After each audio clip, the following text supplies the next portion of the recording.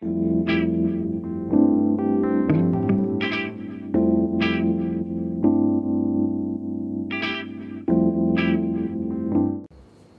a tutti guerrieri e guerriere Sailor, io sono Ferdinando e sono un gran fan di Sailor Moon.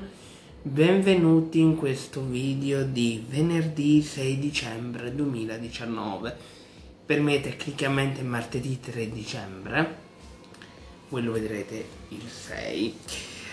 Eh, mi vedrete, mi avete visto finalmente vestito perché ci sono dei, dei video in cui non compaio vestito non mi posso fare la barba perché mia sorella ha dimenticato il taglia capelli a casa del fidanzato e quindi mi tocca andare dal barbiere.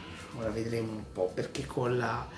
Uh, io mi faccio prima con il coso elettrico se non mi è una pelle sensibile eccetera eccetera. Poi stamattina, oggi pomeriggio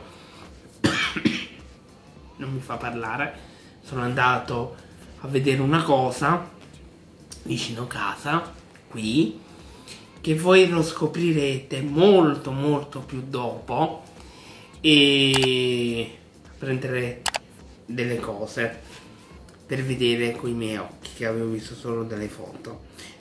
Questo uh, oggi non si parla di Sailor Moon o di anime e manga di anime e manga sì ma non di Sailor Moon perché è un video collaborazione un, eh, è la rubrica consigli regali natalizi e quindi è un video collaborativo con gli youtubers Anime Garden Itta, meglio dire Wex di Anime Garden Itta e Luca Metabrixia. Passiamo con gli shonen. Sapete, shonen, shoujo, seinen e film o videogioco. Allora, questo shonen oggi mi deve uccidermi. Questo shonen è famoso negli anni 80 e 90 soprattutto, ma ultimamente è ritornato su, Ita uh, su Mediaset la mattina e sto parlando del manga anime, in questo caso manga, Orange Ro uh, Road. Uh, Orange Ro Road, penso si pronuncia così in Mediaset l'ha cambiato come quasi magia Johnny. Io di questo manga anime non conosco, cioè conosco, l'ho visto.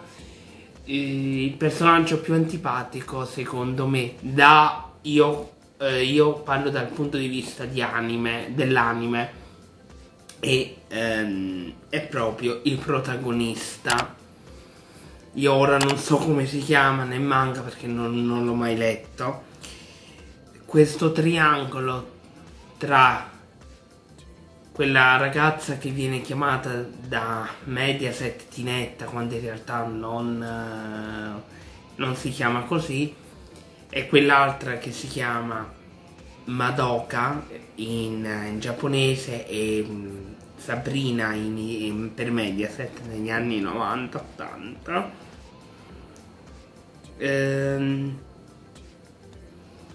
da quello che mi posso ricordare Sabrina Madoka non voleva all'inizio lui quindi faceva quella tipa indifferente.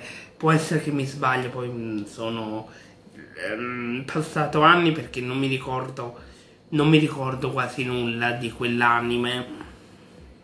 Mi era mi era molto simpatico. Eh, cioè mi era simpatico più i genitori di lui, le sorelle e gli altri personaggi secondari. Il gatto mi... Lui aveva questo dono, ha questo dono di spostare con la telecinesi gli oggetti eccetera eccetera e quindi mh, mm, consider- mh, mm, sono rimasto stupito quando ho visto che era uno shonen. Seconda categoria è lo shoujo questo shoujo mm, è sempre degli anni 80-90.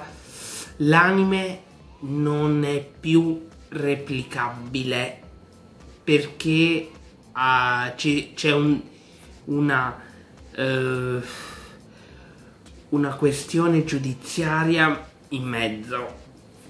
E io sto parlando di Candy Candy.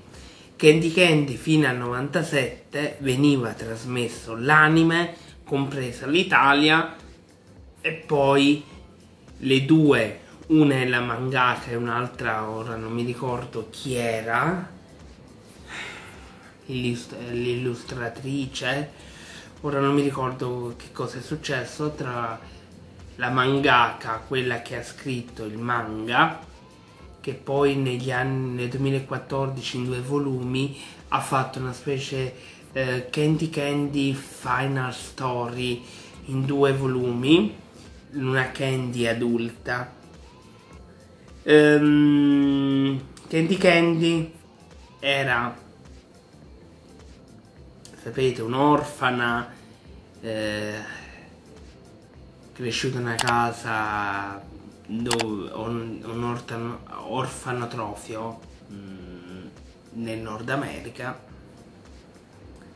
eh, Candy Candy non si sposerà mai con Terence perché eh, in Italia negli anni 80 eh, hanno cambiato il finale. Il finale è che Terence mh,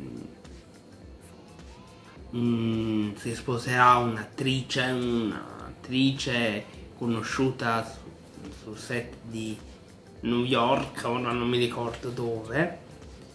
Mentre nel, nell'anime italiano, nell'adattamento italiano diceva che lui aveva lasciato lei e quindi lei, Candy finisce che lei nell'anime aspetta lui in, in, in, in, in, aspettate, in, aspettate, cioè, in attesa di lui. Scusatemi, c'è questa tosse, prendo tutte le medicine ma non fa un, un tubo il manga in Italia era uscito in nove volumi dai fratelli Fabri Editori negli anni 80. Uh, ehm, ora non so che cosa è successo, questa battaglia legale ha portato a non far trasmettere più um, uh, perché la c'è una seconda persona che afferma di essere lei la creatrice, la mangaka originale, la vera mangaka. Eh, dovete sapere che a, a fine anni 90 questa signora, che afferma di essere lei l'autrice, senza autorizzazione della vera mangaka, a, Hong Kong a, stava, mm, c'era dei merciat... Uh, erano usciti dei gadget e ora non mi ricordo una, un art, una mostra, un artwork, non so, dei disegni c'erano dedicati a Candy Candy. Se la vera mangaka non veniva a sapere, accadeva questo, ma per fortuna che la vera mangaka ha fermato tutto e giustamente sono iniziate anche le corte d'appello Mm, giapponesi a essere, essere messi in mezzo. Allora io non mm, io la chiamo vero man, la chiamo la vera mangaka quella che ha disegnato mi sono documentato ci sono delle fonti che affermano che è lei la mangaka quella che ha fatto i disegni del manga quello dell'anime, mm, non so. L'anime eh, fu trasmesso negli anni 70, uh, eh, quindi siamo sempre nel Giappone degli anni 70, in Italia l'anime arrivò negli anni 80. Mia zia, la sorella di mia madre, la più giovane, l'ultima sorella di mia madre, per esempio, uh, mi, mi ha detto che se lo guardava quando era ragazza, Candy Candy, aveva anche una bambola, mia zia. Um, però, però non voglio, non voglio dilungarmi. Andiamo a Seinen per rivolto a un pubblico adulto.